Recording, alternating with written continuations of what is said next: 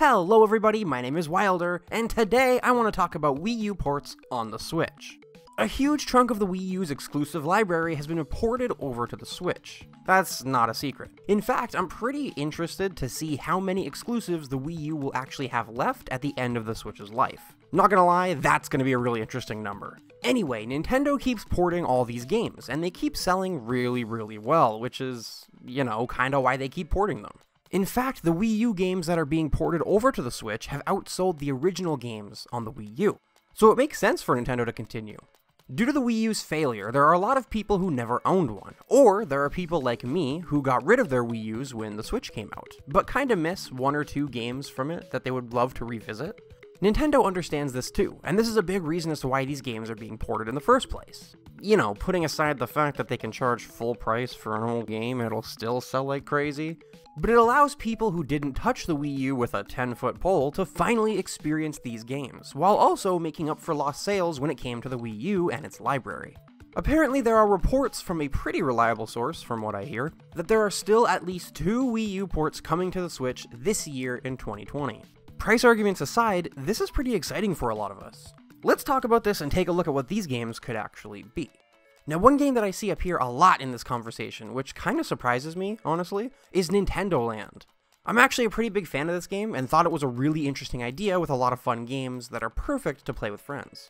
As much as I like this game though, I don't think it will be making a return. A lot of the games in Nintendo Land are developed with the gamepad in mind, heavily so when it comes to a few specific games.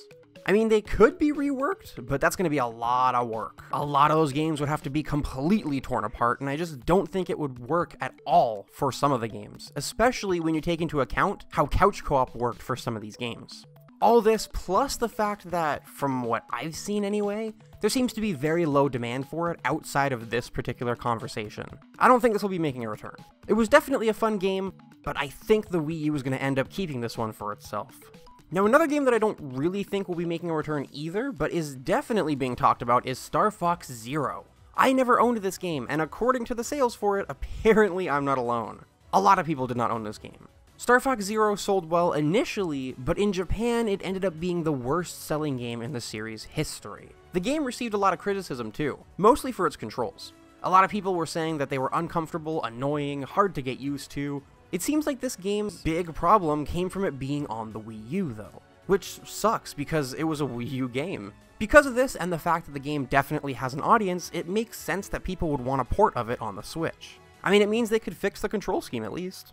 Because of the game's overall poor sales, especially in Japan, though, I think Nintendo will probably skip this game and port something that was a little more popular and go for more of a, you know, safer option. Now, a game that I really want but is in a little bit of a weird area now, is Xenoblade Chronicles X. This is a Wii U game that is talked about all the time, and seeing as how amazing Xenoblade Chronicles and Xenoblade Chronicles 2 are, I can see why. The director of Monolith Soft said that he would love to play Xenoblade Chronicles X on the Switch. Well, that's awesome. That should be it, right? Case closed. Xenoblade Chronicles X should be one of the ports coming. Well, unfortunately, that's not all there is to it. The game didn't pull amazing sales overall, which, you know, is never a good thing when you're looking to put money and time towards bringing a game back. On top of that though, the director of Monolith Soft also said that porting this game would also take a lot of effort, and money is definitely a factor that stands in the way. Even still, I don't think that Xenoblade Chronicles X eventually being ported to the Switch is too far outside the realm of possibility. I mean, Xenoblade Chronicles 2 sold amazingly well on the Switch back in 2017, and the first Xenoblade Chronicles is getting a beautiful definitive edition on the Switch soon. If this definitive edition sells anywhere near as well as Xenoblade Chronicles 2 sold, then it might show them that a port of X would be worth that time and money. I want this port, I really, really do. I would like to finally play this game, and I know that a lot of other people would too. Really though, I leave it up to how well Xenoblade Chronicles Definitive Edition sells when it comes out. Another game that I think has a really good chance and that I love is Super Mario 3D World. I love this game, absolutely adore it. I got this game when I still owned my Wii U, and it's my favorite, we'll say, more traditional Mario game, I guess, if you can call it that. I'm not a fan of the newer side-scrolling Mario games, but I love 3D World and its take on those games. 3D World is talked about a lot, and I think it has a really good chance at being one of the ports. Super Mario 3D World was critically acclaimed, and while its initial sales were low, it ended up being the second best selling Wii U game of all time, right behind Mario Kart 8. This game is really fun and was a huge success. It would be a smart move to port this game to the Switch, especially with how many people want it. I see it all over Twitter. I just think it would be a really smart move. I think it would also be a smart move for Nintendo to give us Wind Waker HD on the Switch. Another amazing game. I don't think I need to tell you how good Wind Waker itself is, but the HD version on the Wii U was well received and sold really well. It's in the top 10 best-selling Wii U games list. It looked beautiful on the Wii U though, its upgraded visuals were handled perfectly, and it's got a lot of quality of life improvements. I would love this game to come to the Switch along with a lot of other people. Being able to take one of my favorite Zelda games on the go with me would be amazing.